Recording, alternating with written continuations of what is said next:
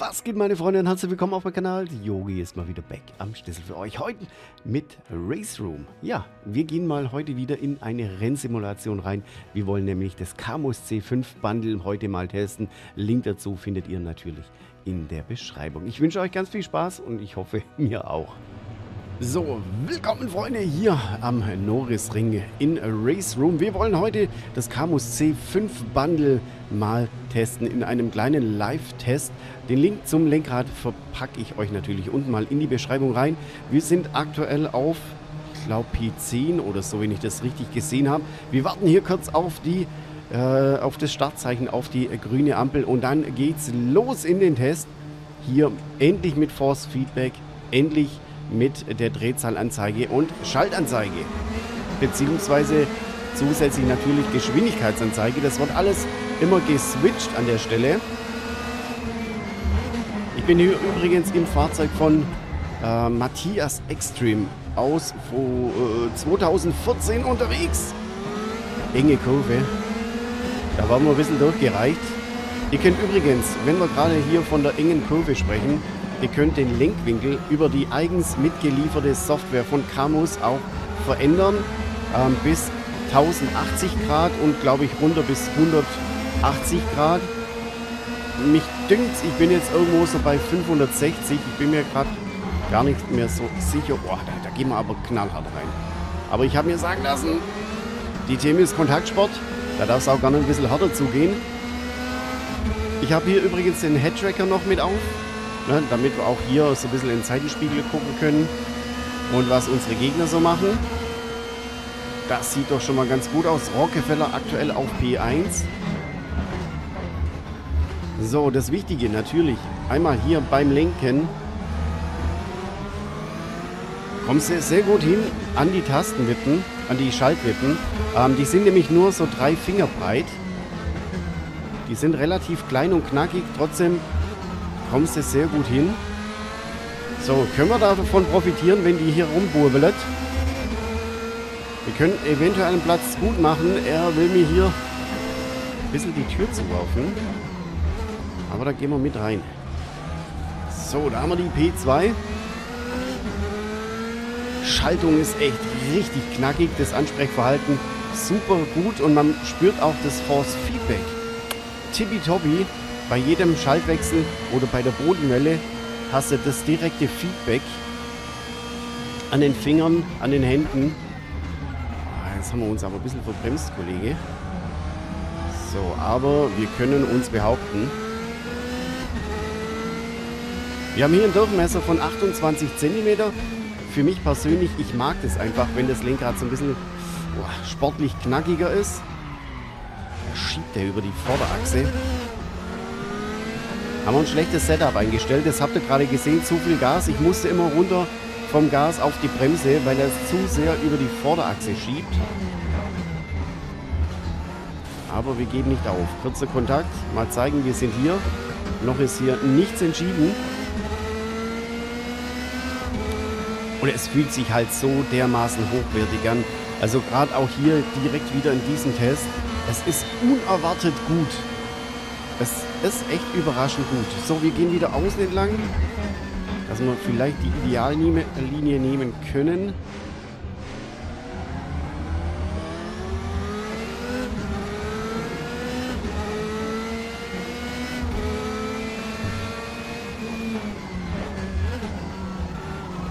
So, diesmal sind wir ein bisschen besser dran. Okay, komm, wir gehen innen durch. Das ist spannend.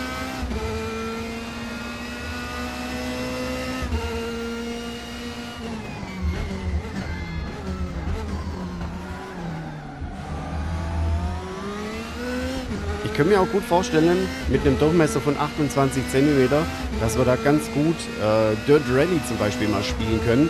Ich glaube, ich packe das Lenkrad mal noch rüber in mein Simrig rein. Auch wenn ich jetzt gerade hier mal wieder sitze mit dem Lenkrad, es macht mal wieder Bock. Es macht einfach mal wieder Bock, zwischendurch Simracing zu zocken. Und drauf aufs Pedal. Auch das Ansprechverhalten vom Pedal spitzenmäßig. Es ist ja relativ simpel gehalten, das Pedal. Also für den Einstieg in ein Direct Drive, das müsst ihr euch mal vorstellen, 300 Euro. Also ein Blick lohnt sich definitiv über den Link.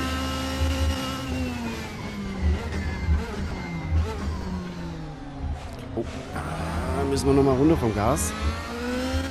So, aber da sind wir schon mal ganz gut voran. Ich glaube, die Kurbel dahinter ein bisschen.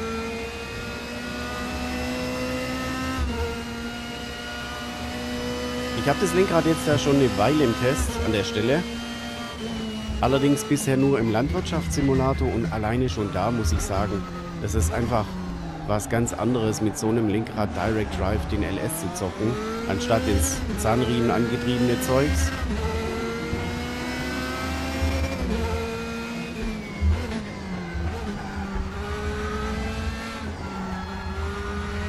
So, da sind wir doch sehr gut durchgekommen.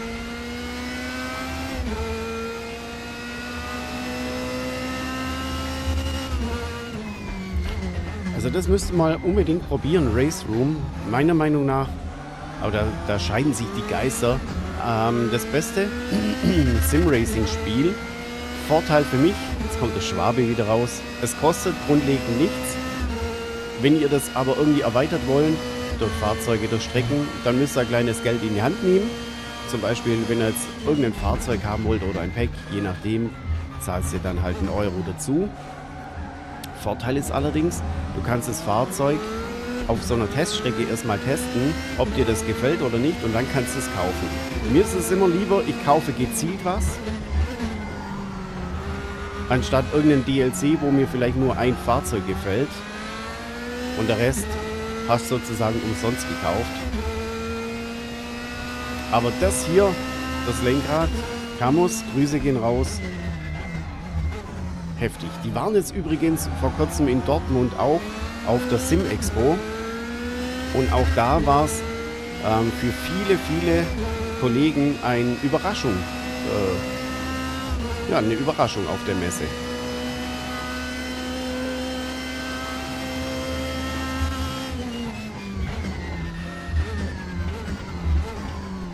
So, ich glaube, wir können uns Zeit lassen. Das haben wir soweit in der Tasche. Hat na klar den Vorteil, wenn wir vorne in Ruhe unsere Runden drehen können. Und hinten im Kampf passiert dann doch der ein oder andere Ausrutscher.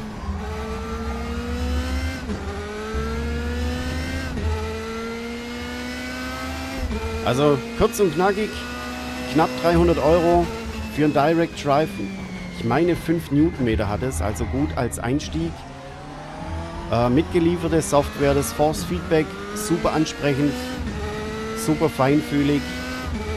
Tolles Lenkrad, es fühlt sich richtig schön weich und solide an, trotzdem sportlich und knackig.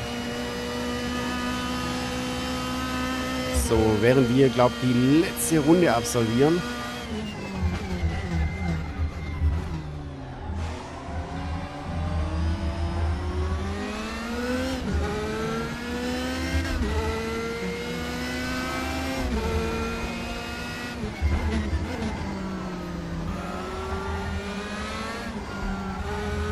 Oh, guck mal. Desto mehr Runden mal fährt, desto besser kommst du auch rein. Und ich glaube, hier, das Lächeln in meinem Gesicht, das spricht Bände.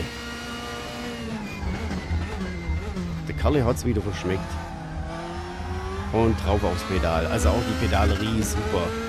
Bin echt begeistert. Ähm, ich habe es im Review schon gesagt, die Pedalerie, simple as possible, aber sie erfüllt ihren Zweck mehr als gut. Na, guck mal, wir dürfen noch mal die Runde.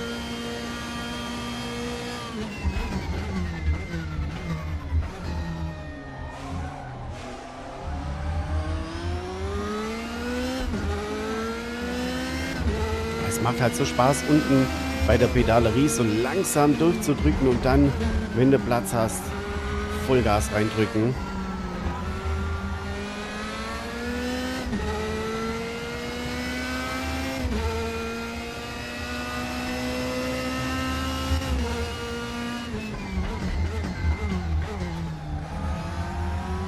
Die haben wir sehr gut gekriegt. Ich glaube, das war die beste Runde.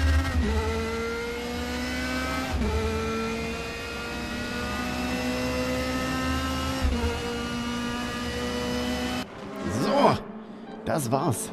So, das war ein kleiner Eindruck vom Camus C5 Bundle. Ich hoffe, euch hat das Video gefallen. Schaut es euch gerne mal an. Ich kann es absolut empfehlen. Hat mir sehr, sehr viel Spaß bereitet. Ich werde das ein oder andere Spiel noch mit dem Lenkrad testen. Also lasst gerne ein Abo da, damit ihr nichts mehr verpasst. Ich wünsche euch einen schönen Tag. Bis dann und ciao.